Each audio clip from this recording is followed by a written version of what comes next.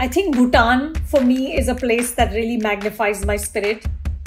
What was that one BC to AD event of your life? When I went from being a text journalist to a television journalist the other events would be, I think, getting involved with MAMI. That was very valuable. And then, of course, starting Film Companion, which taught me how to be an entrepreneur. What are the other books in the non-fiction genre that you have been like reading? What I loved in that book is the fact that he says, read one page a day. Itna to sab kar sakte na. how to be more productive. agar iske koi productivity hacks hai what are the things that you have cracked for yourself? You know the first thing that really helped me uh, was exercising every day. We need podcast recommendations from you also. I love podcasts. When i'm on the treadmill i'm listening to people talk and that for me is just very nice. There's this question i ask everyone ki better music kaun si film ka hai Veer Zaara aur kal i would say as sacrilegious I, I, as that is as sacrilegious as that is.